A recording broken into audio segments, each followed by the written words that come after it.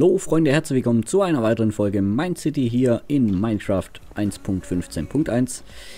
So, wir haben gestern hier eine Kiste gebaut, die automatisch unsere Items, was wir da reinlegen, ähm, wegtransportiert. Ich lege hier mal ein halbes Deck rein, das müsste eigentlich passen. So, das transportiert uns die Items automatisch nach hier unten, wie wir sehen. Ja. Ich habe gestern gesagt, ich muss den weiter höher setzen. Das habe ich jetzt gemacht. Außerdem ähm, habe ich gemerkt, selbst wenn wir den höher setzen, dann kommt uns die Hopperbahn von oben entgegen. Deshalb ähm, bin ich hier jetzt schon wieder eins nochmal nach unten gegangen. ähm, das ist einfach notwendig, damit das System so funktioniert, wie ich das gerne hätte mit den Kisten. Außerdem war ich noch ein bisschen Eisenfarm, aber so viel kam jetzt im Moment nicht bei rum. Das muss auch gesagt sein. So, dann machen wir mal noch ein paar Kisten, weil wir werden viele, viele, viele, viele davon brauchen. Für einen Hopper brauchen wir zwei Kisten. Ähm, für... Ups. Na? Machen wir es eben nochmal neu. Ähm, und wir brauchen aber auch sehr viele Hopper. So.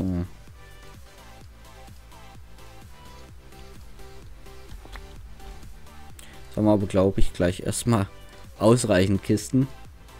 Ich werde die aber jetzt schon mal platzieren, weil ähm, dahinter muss ja die Technik dann noch. So, also. Wir müssen ein bisschen davon weggehen, glaube ich. Weil wir müssen dann nochmal nach hinten. Ne, müssen wir nicht. Wir haben, wir haben eigentlich schon richtig gebaut. Also, lass mich mal kurz überlegen. Wir machen... Eins tiefer das Wasser. Dann haben wir hier wieder... Hä? Och nö. Bin ich jetzt doch wieder eins zu tief? Ich baue das jetzt mal auf. Ich baue das jetzt einfach mal auf. Wir haben hier hinten... Muss eigentlich an der obersten Stelle, das heißt hier... Muss diese Verstärkergeschichte hin mit der Sortieranlage. Aber ich finde es zu niedrig. Ich muss noch eins höher gehen. Ich, ich habe keine andere Wahl. Ich habe keine andere Wahl. Äh, ich mache noch mal einen kurzen Cut. So, einen Cut später sitzt das Ding jetzt relativ weit oben. Aber das passt nun. Hoffe ich doch. Ja, das passt. Ich erkläre euch auch gleich warum. Ähm, wir bauen jetzt hier. Da kommt schon die Hopperbahn. Ne, die kommt da noch nicht. Dun, dun, dun. So, wir hatten ja am Anfang ausgerechnet, dass die äh, Kisten auf dieser Ebene hier ankommen. Das heißt, Kisten werden hier platziert. So.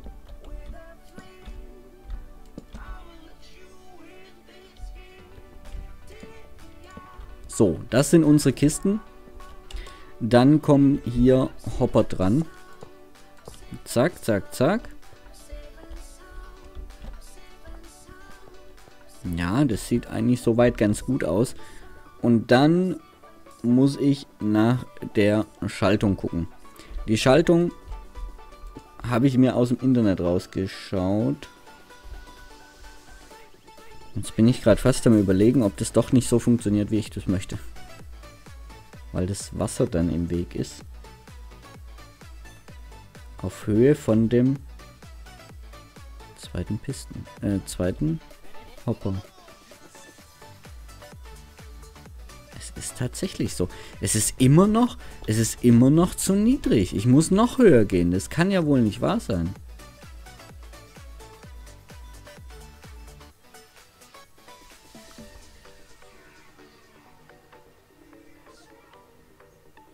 Lass mich mal kurz überlegen.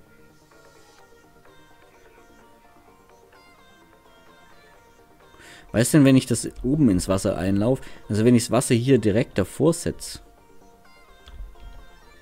funktioniert das?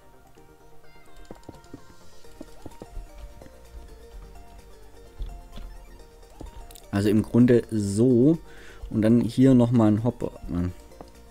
Ja doch, der jetzt wahrscheinlich da unten gelandet.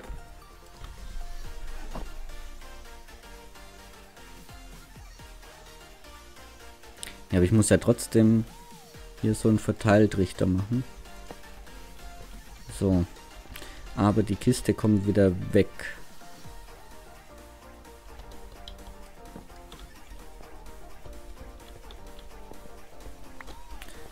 So wäre das dann. Dann brauche ich vier Hopper für drei Kisten. Oh, ich werde pleite gehen. So. Dann kommt das so, so. Da fehlt natürlich jetzt gerade noch was. So, müssen wir das bauen.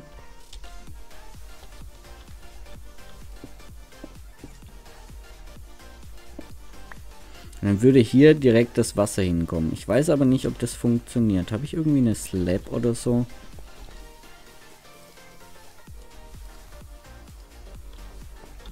Dann könnte ich das nämlich dummyweise probieren. Ein Slab hier hin. Ich weiß nicht, ob das geht. Das müssen wir jetzt ausprobieren.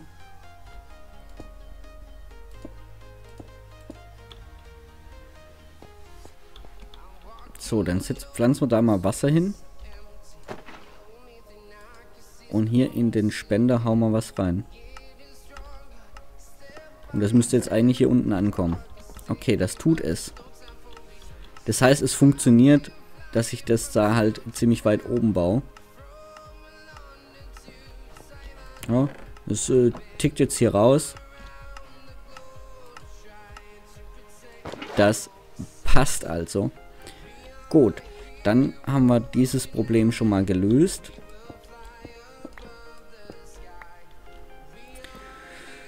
Gut, jetzt müssen wir hier um die Ecke. Weil da hinten soll ja das Wasser rein. Und äh, was wir jetzt noch brauchen, ist diese Schaltung. Da müssen wir drei nach hinten. In der Mitte muss Platz sein. Er muss einer nach unten. So, dann haben wir hier ein Comparator. Was auch immer dieser Dinger macht. Ich weiß es absolut nicht. Aber es ist einfach so. Zwei Redstone. Darunter einen Verstärker. Und darunter eine Redstone Torch. So soll das, glaube ich, aussehen. Ich gucke nochmal gerade. Ah ne, warte, der hat da hinten noch einen Block. Sonst äh, geht das Signal wahrscheinlich nicht darunter. Also hier nochmal ein Redstone. So, das hier ist jetzt unser... Habe ich jetzt falsch gemacht? Neben den obersten Block. Also neben dem.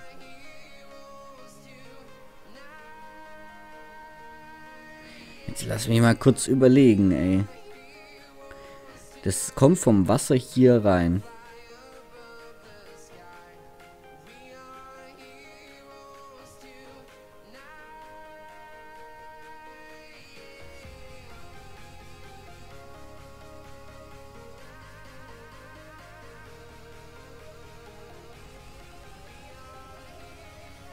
Ich muss den obersten Block triggern.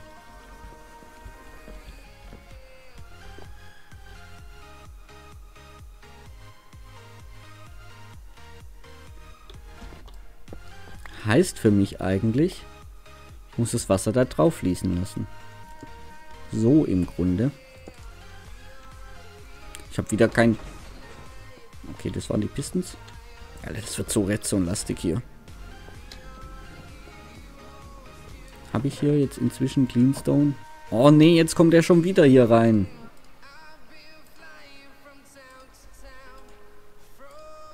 Ich will Bruchstein hier drin haben.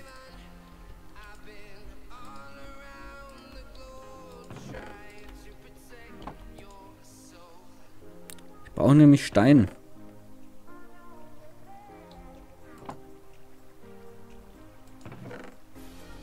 Okay. Oh, das braucht so lange. Zwei Stein. Ähm, dum, dum, dum, dum, dum, dum. Die Logik von Redstone, ey, die wird sich mir nie erklären. So, warte. Ich kann das ja auch mal kurz mit dem Undersit hier machen. So, und dann läuft nämlich das Wasser in diese Richtung weiter. Auf dieser Höhe. Ist das so richtig?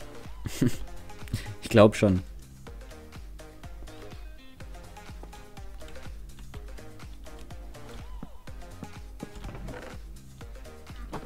Ah, ich habe noch, ein, hab noch ein paar Kisten, ja. Die, so schnell werden die nicht ausgehen.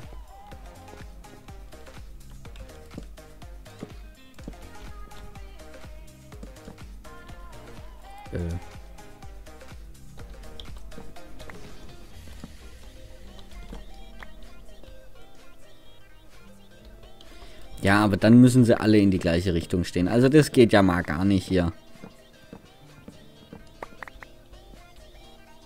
So.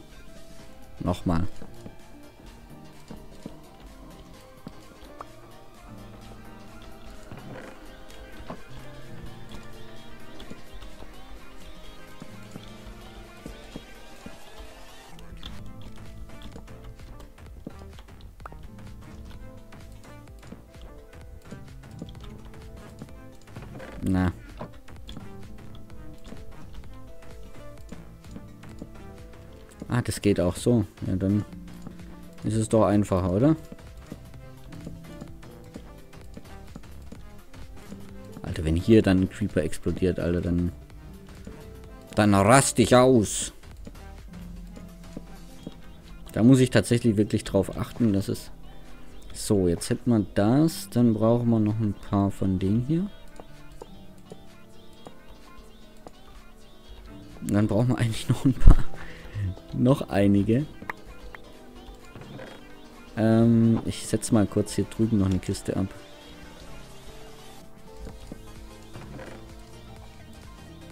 Für irgendwelchen Baukram.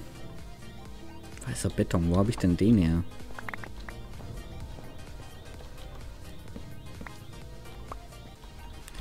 So.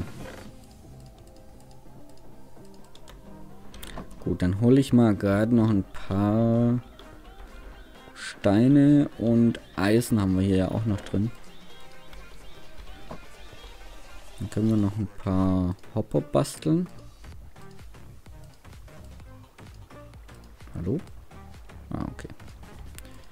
Dankeschön. So.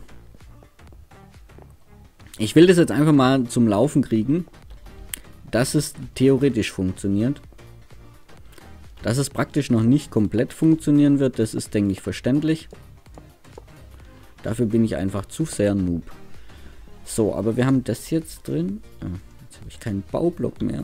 Mhm. Kuppel. Kuppel ist immer gut zum Bauen. So, duck, duck, duck. Ich glaube, ich muss hier noch ein bisschen eins tiefer rein als äh, Versorgungsschacht. Habe ich die falsche Spitzhacke? Die ist so langsam. Ja, das ist schon wesentlich schneller.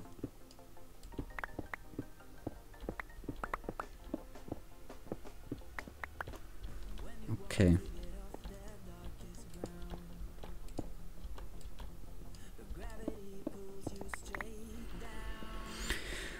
Gut. Ähm, was haben wir hier? Verstärker. Die bastel ich jetzt einfach mal hier rein.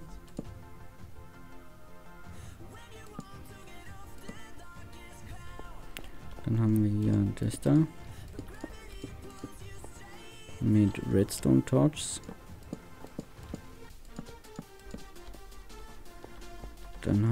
oben drüber die Steine.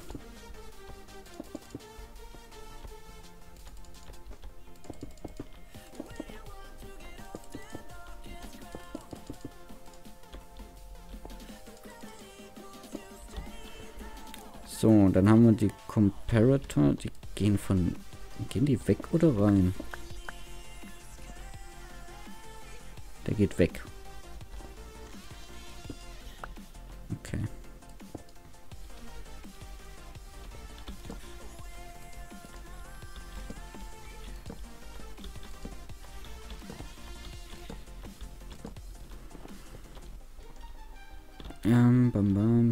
Das Wasser.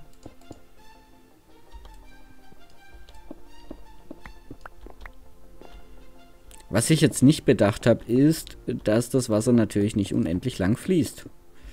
Das heißt, wir müssen gleich nochmal gucken. Aber erst baue ich hier zu. Dass wir hier wissen, wo das Wasser rauskommt. Oder wo es halt aufhört. So, es hieß, dass das hier egal sei, auch wenn die durcheinander schalten. So. Und es hieß, wir müssen gar nicht selbst sortieren. Wir müssen jetzt nur noch in die oberste, ähm, in die oberste Kiste, äh, in den obersten Trichter, müssen wir jetzt nur noch äh, sagen, was im ganzen System nicht drin ist. Und dann nehmen wir natürlich wie soll es anders sein? Seeds. Also Seeds haben wir so viele. Zack, zack, zack. Die bauen wir ein. Und dann können wir eigentlich schon selbstständig das System dann auch ans Laufen bringen. Ja, das war jetzt natürlich... Ah, zum Glück haben wir hier hinten doch noch einen Versorgungsschacht. Ähm, darf ich da wegmachen? Oh ne, das war... Das war jetzt sehr dumm.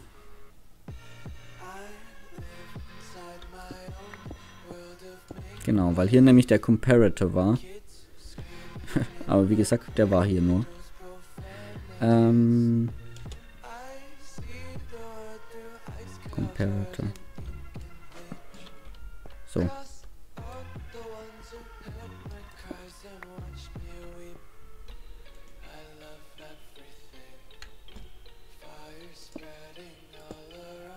Gut.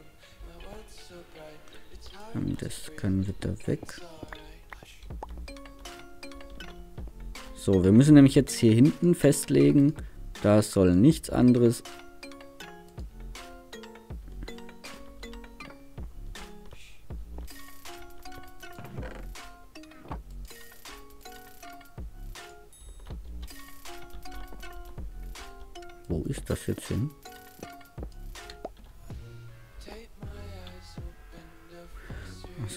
mit Glas bauen, ja. Deshalb habe ich, glaube ich, sogar Glas dabei.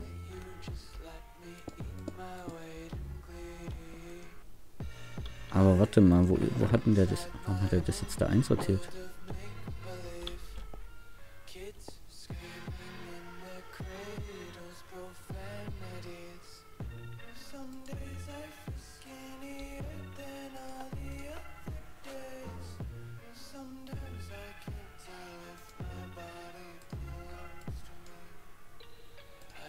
Warum sortiert ihr das ein? Was habe ich denn jetzt schon wieder falsch gemacht?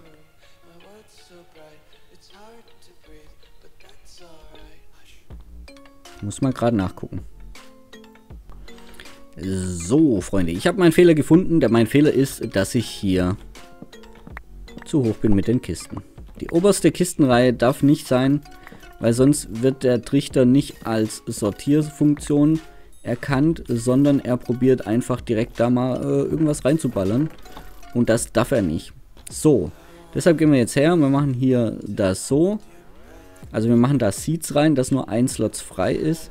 Und jetzt sehen wir auch hier hinten passiert was. Ja? Also der Comparator, der arbeitet auch. Der nächste auch. Und so müssen wir das jetzt im Grunde für alle machen, die wir hier angeschlossen haben. Deshalb brauchen wir auch so viele Seeds und äh, so viele Trichter. So, ich mache das jetzt mal kurz fertig. Dann muss ich mir überlegen, was ich wo einsortieren möchte. So. Die sind jetzt alle aktiv. Das kann man noch zig äh, Reihen weitermachen. Werden wir auch machen. Und dann fällt mir aber gerade ein, dann muss ich hier doch kein Glas machen. dann kann ich hier ruhig einen Feststoff nehmen. Ich mache das jetzt mal so. So. Ähm, hier machen wir mal zu. Sicher ist sicher. Jetzt setzen wir das Wasser wieder an. Es ist ja hier noch nichts drin. Auch in den hier oben, da ist noch nichts verteilt. Also der weiß noch gar nicht, was da rein soll. Wir setzen jetzt hier mal Wasser an.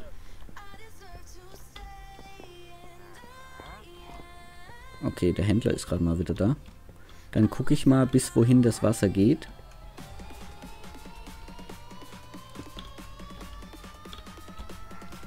Upsasa. Okay, das Wasser geht bis komplett nach hinten, weil da hinten haben wir ja ähm, einen Absatz drin, dann geht es ja wieder acht Blöcke. Das ist ganz gut, weil ich wollte jetzt da noch nicht äh, irgendwas anderes machen. So, dann gehe ich jetzt mal nach oben. Zack. Weil ich möchte natürlich das gesamte System testen, ja. Das heißt, ich nehme mal hier äh, ein Stack Cobblestone.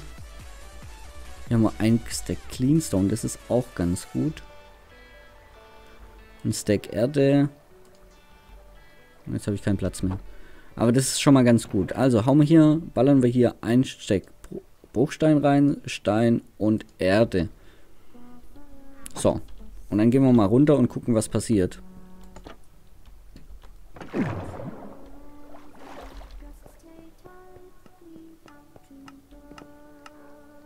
Wir hören, es triggert. Wenn wir hier jetzt gucken gehen, sehen wir auch, hier werden die Items rausgeschossen. Und wenn wir jetzt gucken, füllt sich der hier gerade auf. Und jetzt bleibt er bei 41 hängen. Im nächsten auch schon Bruchstein drin. Warum denn das?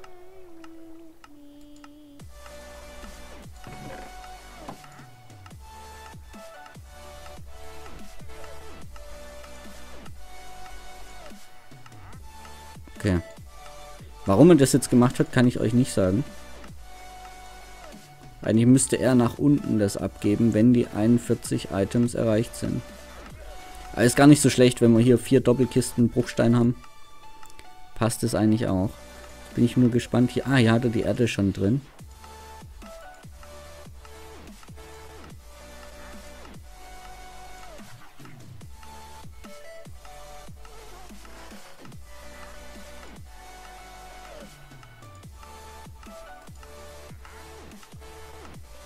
41, 42 funktioniert nicht mehr.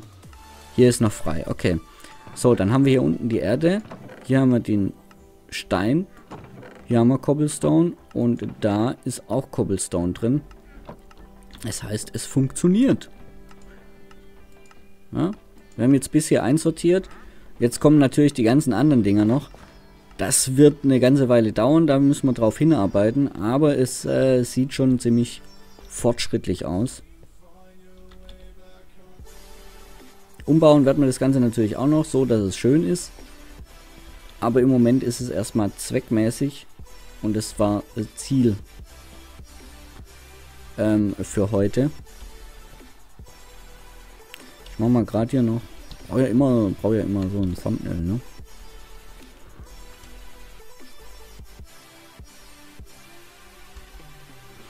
Gut, also vielen Dank fürs Zuschauen. Wenn es euch gefallen hat, schaut gerne morgen wieder rein.